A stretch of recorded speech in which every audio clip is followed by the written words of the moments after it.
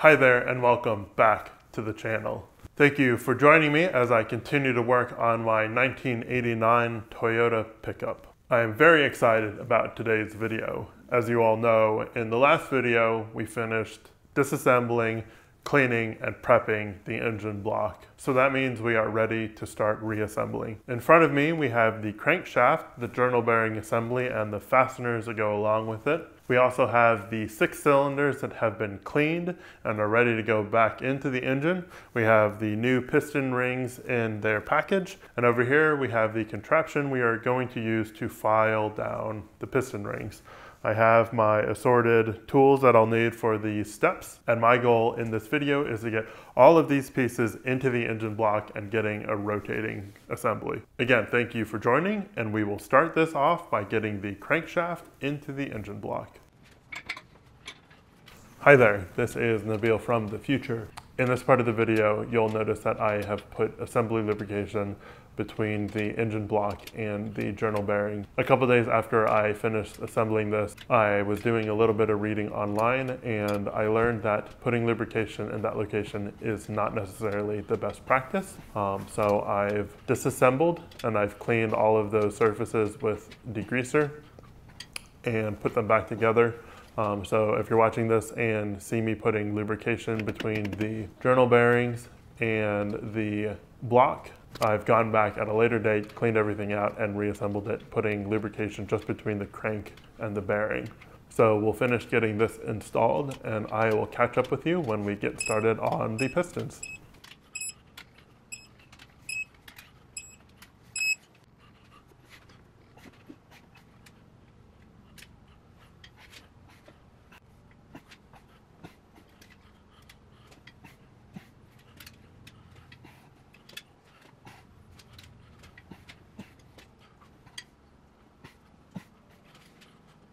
Now that we have the crank in, we can start working on the pistons. Um, I've already done the first one. I went through the process, making sure I wasn't gonna run into any issues and that all checked out.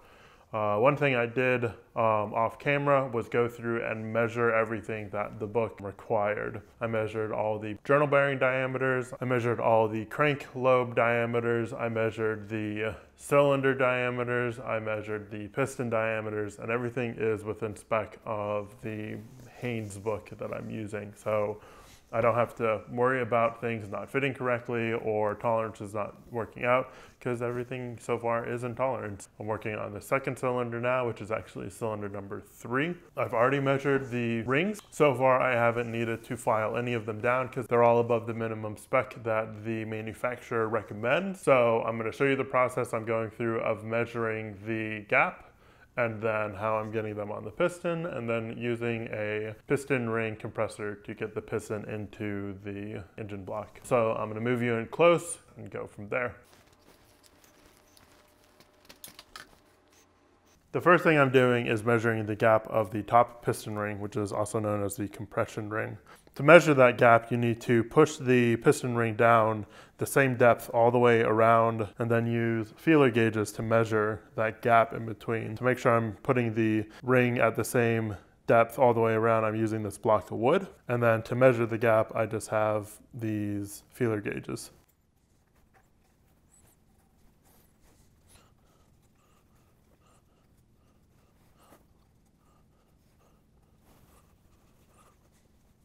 Then, after that, I pull out my feeler gauges and I start measuring. So there's a small gap right here. Taking my feeler gauge and I'm just sliding it in. Now, after I know that that gap is correct, I pull the piston ring out and then I slide the next one in and I repeat the process for all of the piston rings that go with that piston. Now that we have all of our ring gaps measured and they are all within spec, the next thing to do is to install them all onto the piston.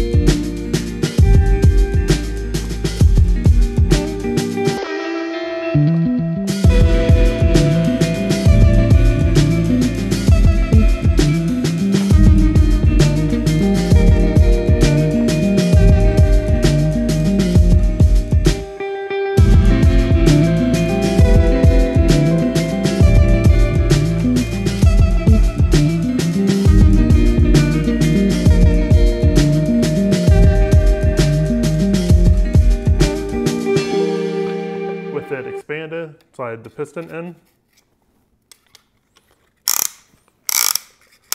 and start ratcheting it down.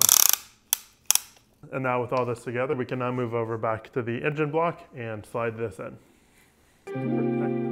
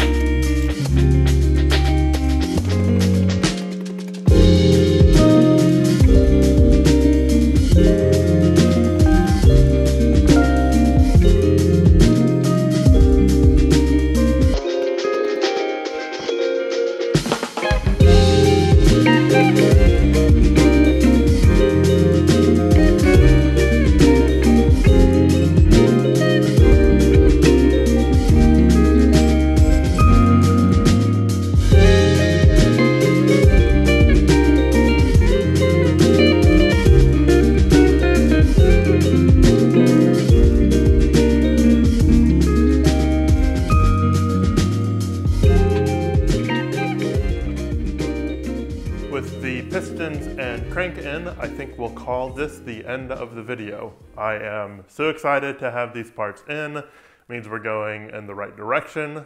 And maybe in a couple months, I'll have the engine back together, made it up with the transmission back into the truck. After that happens, there is so much more work to do to this vehicle before I get it driving. But these are steps in the right direction. I hope you enjoyed the video. If you have any comments or questions, leave them below. If you want updates of when I release new videos, go ahead and click that subscribe button. Thank you again for watching, and I will see you in the next one.